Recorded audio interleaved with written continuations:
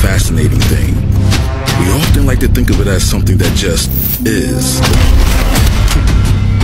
But too many people let the past determine who they are.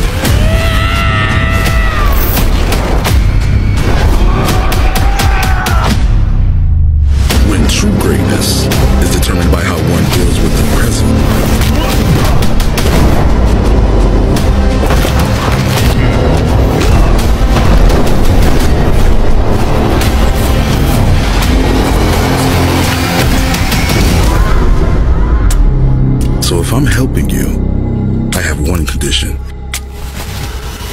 Yeah. No more quitting. Time is a gift, I say. What are you gonna do with yours?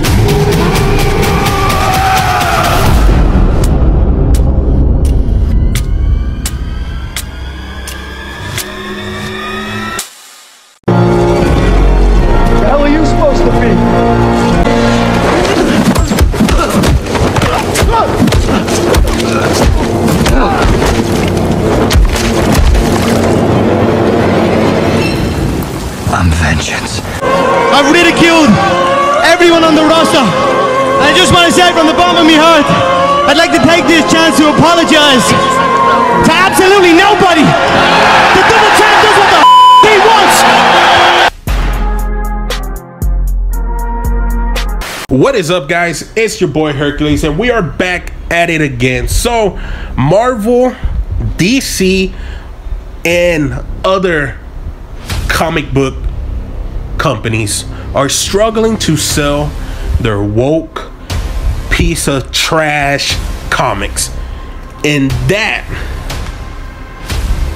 even that, their own writers, the people that are writing these piece of trash comics, are coming out.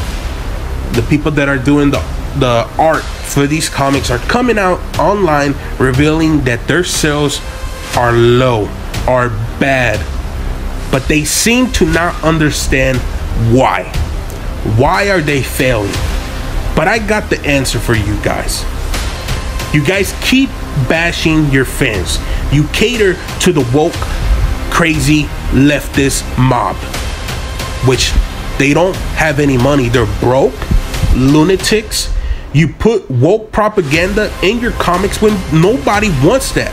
Yeah, back in the day we had politics, but guess what? Back in the day, we were at war with Germany. We were at war with other places. So it makes sense why you wanted this. You wanted this to get people excited and to talk about what's going on in the real world. You take your comics and you make fun of your characters. You kill off your goddamn characters. You talk shit to your fans. You call them hillbillies. If you don't, guys don't know, the a Marvel writer, I believe, called the Punisher's films as hillbillies. Good luck selling books because they love a certain superhero. So you make that hero a cuck, sad, pathetic has been, and you wonder why you can't get any sales. When you have a guy like Eric D. July who created Isom and now drop Isom 2 and he's making millions of dollars and you wonder why you're failing. Because you know why he's making money you can say oh well he has an, an audience already. Guess what? You have an audience too. When you slap the logo marvel comics it used to mean something.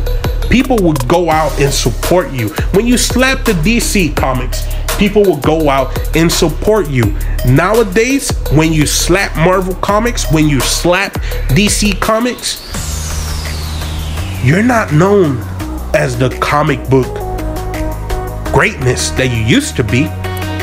You're just another woke ass company and you're struggling to sell books. You're struggling to have any, I guess you can say, cash flow for your company. And this doesn't just stay with Marvel and DC. There are other companies out there that are also doing this that can't fulfill any um any products that they claim they will.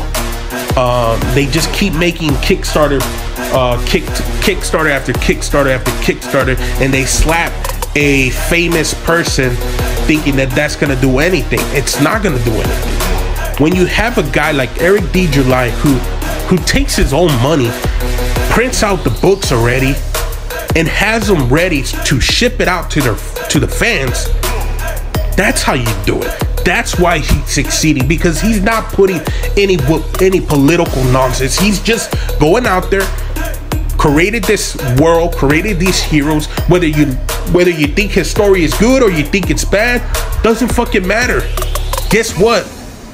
If you think it's trash, guess what? Nobody cares because he's making money. He he found his community and it's working. It's working a lot better than what Marvel and DC are doing. He's gonna stay relevant longer than Marvel and DC comics. Can DC and uh, Marvel and all these other companies change? Yes, you can. But it has to start with your woke writers. You get rid of them. You bring in people that just want to tell great stories. They want to entertain people. That is the issue. Why can't you entertain people? All you can do and all you do is push political propaganda. People don't want that. And you wonder why you're failing? That is why. If you want to know how to succeed, there is one guy out there who is proving you how to do it, and he's an independent comic book creator, and that man is Eric D. July, Young Rippa, Rippaverse, Isom 1 and 2 available now. Let's go. Woo!